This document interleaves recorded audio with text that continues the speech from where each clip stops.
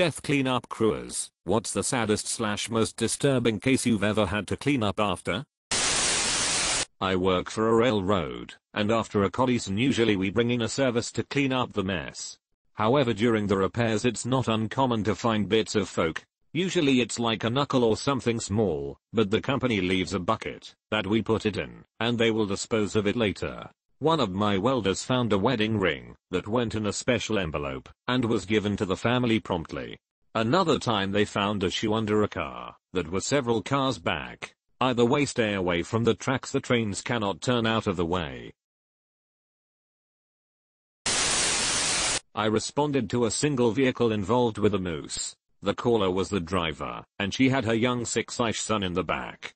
They were both okay, but afraid and trapped in the car as the moose was lodged into the windshield. We arrived and, when we did the moose woke up, and kicked the mother to death trying to get itself dislodged. The boy had to watch the whole thing. We were removing him from the back seat, and he said my mom is dead isn't she? I'm a volunteer so I'm not used to dealing with things like that. It was heartbreaking. Edit spelling edit hash 2 for all those asking, we had no method of killing the moose. Also, it started kicking how the second our truck showed up so, even if we did have the means to do so, it would likely have been too late. The dude above my sister's apartment died with a faucet running. One morning, my sister's roommate saw one of those paint water bubbles in the ceiling. It burst and death water flooded their apartment. Everything touching the ground had to be replaced. My father worked many years as a CSI. More than once a biker vs truck crash required a shovel to scrape the biker remains from the asphalt. Once he found just a mustache still attached to the upper lip some 20-30 meter meters away from the crash. Not pretty at all.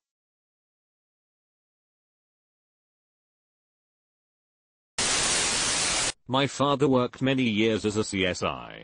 More than once a biker vs truck crash required a shovel to scrape the biker remains from the asphalt.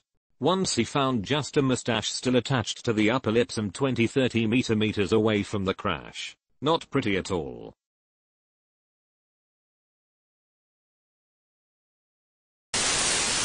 One of my friend's dad is a retired correctional officer. One he told me sticks out. He was doing rounds on the catwalk of a big block of cells. Everyone is out on the yard, because it was a nice day outside. He goes through some checkpoint to the next block of cells and smells blood. He gets around a corner and sees a guy sitting up in his bunk, covered up to his neck with a blanket. Looks pretty normal. But looking down the whole floor of the cell is completely covered in blood. The bunk is completely soaked with blood. The blanket is soaked in blood. The inmate had made a dam of towels against the bars of his cell to keep the blood from dripping out. He was completely white. He had slit both his wrists, and then slit his own throat ear to ear. Almost all of his blood was on the cell floor. Literally, half an inch of coagulated blood over a 5x7 cell floor. You could see the blood losing oxygen, going from bright red to dull purple, as it got farther away from the body. He was alone for about 15 minutes tops between everyone getting let out for yard time and the next patrol on the catwalk. The inmate had a double life sentence and had just decided to end it. Was working as a volunteer firefighter in 2011 in a small town in New York. A drunk driver in a truck hit a high school senior who was heading home on his motorcycle. The kid was still alive when we got there, saying how he didn't want to die. I put a tourniquet on his leg to stop the bleeding from his femoral leg, was pretty mangled I was talking to him, and trying to keep him calm as we put him on the spine board then he got really quiet, and said thank you for not letting me die alone then he died.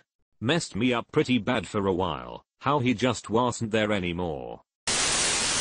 I've been doing this kind of work for about 6 months and a month or two ago we did a job where a 12 year old girl shot herself in the head with a 357, while in her parents' bathroom. You can imagine the damage a large caliber bullet would do to a child at point blank range. Even compared to other suicides there were multiple skull fragments and mats of hair of which, as a relatively new worker in this field, I had not become accustomed to. No note, entire family was home at the time. We got there the next day to clean up, and we worked 14 hours straight with the mother one room away crying like a banshee. Just the thought that what we were cleaning up was the remnants of such a young child, it really sticks with you. When I was in high school a girl we knew used her dad's shotgun. Day after it happened we went as a group of friends to check on her sister. They hadn't had a crew to clean up the splatter coming yet. Door was open to her bedroom, cause none of the family could stand to even go near it so two of us shut it for them. My dad was a fireman. He said he always lucked out and seemed to miss the horrible shit. But he knew these two firemen who every year took the same day off in July. That day they took off was in remembrance of a fucked up case they were both at where a house was on fire, going up quick, and killing a few of the kids inside, before anything could be done to save them. After the fire went out the two firemen went in to get the bodies. They found two of the kids dead, cuddled in a closet, but they couldn't find the baby. They kept walking around looking for him when one of them realized they were standing on him. Poor little thing unrecognizable. I was first on the scene of a small jet crash. Killed everyone on board. At one point I was helping the airport fire department crew haul their hoses closer to the wreckage. Things were still in fire around me, but not too much. As I'm walking, I think I was getting ready to step on what I thought was a big piece of half-burnt foam. It was orangish and charred. One of the firefighters stopped me and had me walk around. Later he told me it was part of a body burned by jet fuel. A few seconds later one of the medic crewmen said no, it was two bodies, the husband and wife together. There was a case like that in the village my great grandma lived in. Small town. There were a few decent really old houses along the state route that formed the main street she lived in what used to be the village gas station, Onkverted, with an array of crappier newer houses filling out the rest of the village. Very low income area, mostly people who commute to the cities. One of the oldest and nicest houses was almost right across from my great grandma's. Big almost Victorian looking blue house. Incredibly nice family lived there. It's with the grandparents, but their daughter and her family were living there while they built their own house. Eldest son was a but of a jerk for a 5y slash O, but generally a nice family. One day, when the mom and dad were at work, some kids from the neighborhood set it on fire. Covered the back and some of the garage with gasoline and lit it up while they were asleep inside. Two kids made it out, but both grandparents died, since they couldn't make it downstairs. It caught something in the garage and didn't get totally put out for about a day. By the end, it didn't look like it was two stories and an attic. Kids all got away with it. Nobody was charged. This was the third house in the village to be burned down by the same kids. First with deaths. Everyone knew exactly who it was, but they didn't have a smoking gun and the kids had an uncle with connections. No police force or anything, so they had to rely on the sheriff. That's where the corruption was. Lots of great deputies, but the sheriff had too much sway back then. At the very least, no more houses were burned down after that. General knowledge that the kids gotta know more of this shit talk from the uncle. Sobered up real quick, when they realized they were mortal to the law for once in their lives. My dad was also a fireman, and had a similar story, but with an adult lady. His most horrendous story was a seven-year-old boy who was hit by a garbage truck. When they arrived garbage man and mother of child were just in agony. Here the garbage man was backing up didn't see the boy on his bike and just crushed him into his bike. Both were flattened. My dad is now 74 years old, and is just now reliving some scenes that wake him up in the middle of the night. I'm not a professional by any means, but when you work at a large apartment complex, you see a lot of people. Because police officers and actual professionals do not have keys to individual apartments, I will typically accompany them into the apartment for wellness checks. So far in my three years at this property we have found three deceased. The first was a suicide of middle-aged man that just decided to end it all. He bought a gun a few days before gun case and receipt sitting next to him. He sat on the ground and ended it all. Going back to the office, where his mother was waiting and seeing her fall to the ground in tears, will never leave my mind. The other two were older folk who died of natural causes, but both of them sat for 24 days before being found. A lot of people don't realize how quickly we start to decompose after our heart stops pumping. Your fingers, toes, ears, and nose will start to rot and fall off. I have a lot of respect for the people that deal with these things on a day-to-day basis. The few experiences I had put me in a pretty huge funk for quite a while. Murder slash suicide. Husband shot wife in the head while sleeping and then himself. Usually I just sort of zone out while doing them, and not thinking about it too much, but cleaning the blood splatter off one of their photo frames of them, and the kids with the caption world's greatest dad was pretty sad. Also did a cleanup at a homeless shelter, where the woman living there had drank herself to death. Someone at the front desk said their throat eroded from all the alcohol and they threw up blood everywhere. Midway through the cleaning their sister showed up distraught and started stomping through all the blood pools on the floor digging through everything looking for a note or anything sentimental left behind. Only found empty Svedka bottles and clothing though. Also very sad.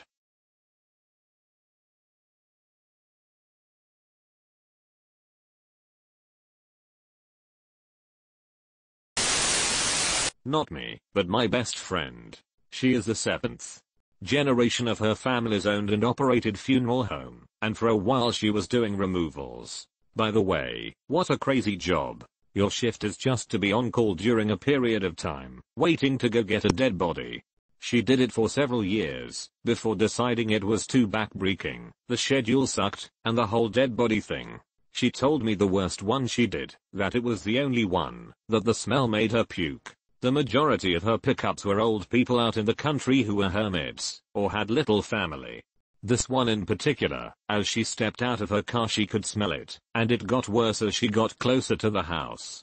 It was hard to see through the windows, because they were curtained with flies. They opened the door, and were basically smacked in the face with flies and death, so they let it stand open for a while before entering.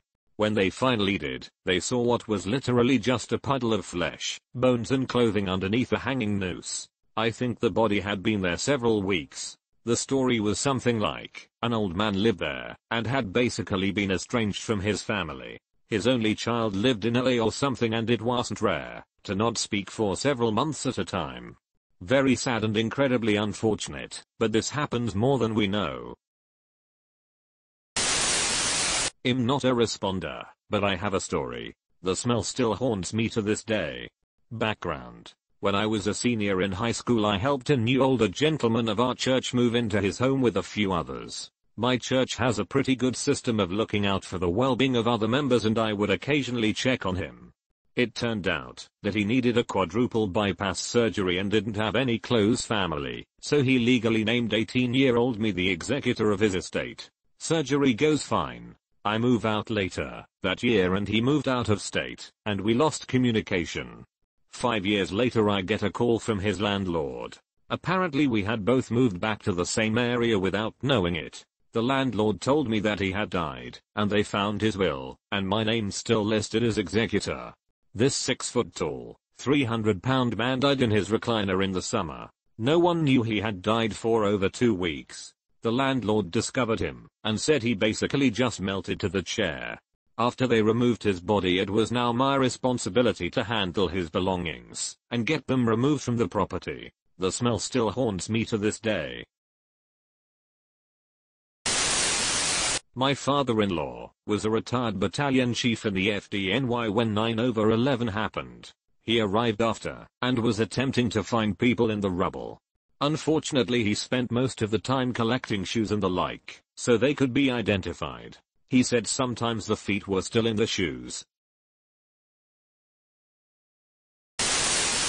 Obligatory not a crime scene cleaner upper. My cousin owns a very large 150 units trailer park, and one of his tenants pulled a murder-suicide.